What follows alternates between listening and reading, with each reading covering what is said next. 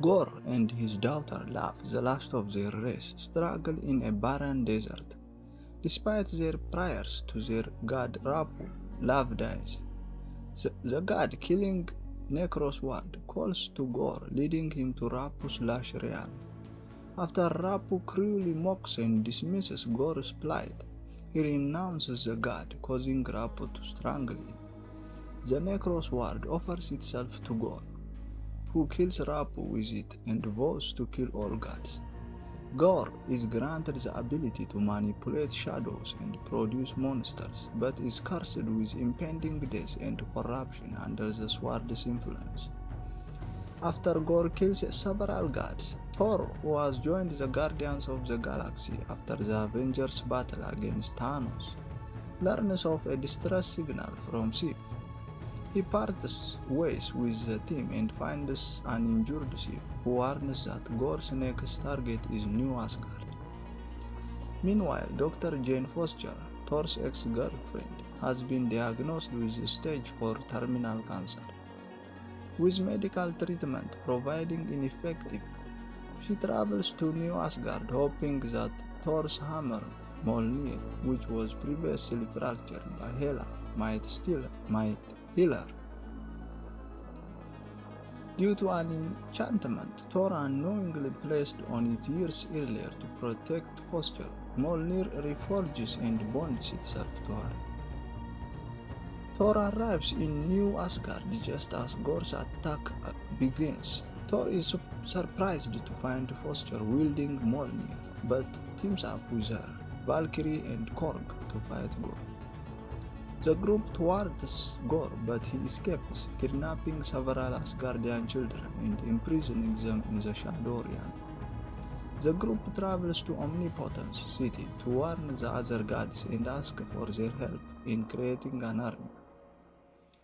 The leader of the gods, Zeus, is unwilling to help, thinking they can remain safe and hidden from Gorr in the city. He also believes that Gorr will not be able to achieve his stated goal of visiting the realm of eternity, where he will be granted one wish, presumably to destroy all gods. As a security precaution, Zeus orders the group's capture to prevent them from exposing the city's location to Gorr. When Zeus injures Korg, Thor impels Zeus with his thunderbolt, which Valkyrie steals before they escape to confront Gorr in the Shadow Realm. On the way, Thor learns of Foster's cancer diagnosis. The group arrive at the Shadow Realm but are unable to locate the children. Foster sees ancient drawings that depict Thor's battle axe Stormbreaker as a way to summon the Bifrost to enter eternity and deduces a trap laid out by Gorr. She throws away Stormbreaker to prevent Gorr from accessing it. However, Gorr overpowers the group and threatens to kill Foster, forcing Thor to summon it back. Gorr successfully steals Stormbreaker and injures Valkyrie before a weakened Foster collapses. Upon traveling back to New Asgard, Thor discovers that Foster's Thor form is not allowing her body to naturally fight the cancer. Due to this, Thor travels to Eternity's altar alone and using Zeus' thunderbolt, imbues the children with his power to fight Gorr's monsters while he battles Gorr. When Foster senses that Gorr is about to kill Thor, she joins the battle with Mjolnir to save him. They destroy the Necrosword, freeing Gorr from its influence. But the three are brought into Eternity's realm. With Gorr poised to make his wish, Thor implores Gorr to revive his daughter instead of destroying the gods.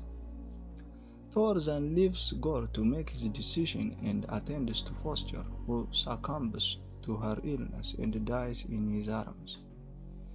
Moved by their display, Gorr wishes for eternity to revive love, which it grants. As Gorr dies from the curse, he requests Thor to take care of love. In the aftermath, the children return to New Asgard. where Valkyrie and Sif begin training them, and a monument in honor of Foster is built. Thor adopts Love, who joins him in his heroics with the former wielding Mjolnir and the later wielding Stormbreaker. In a mid-credit scene, back in Omnipotence City, a recuperating Zeus sends his son Hercules to kill Thor. In a post-credit scene, Foster arrives at the gates of Valhalla where Heimdall welcomes her.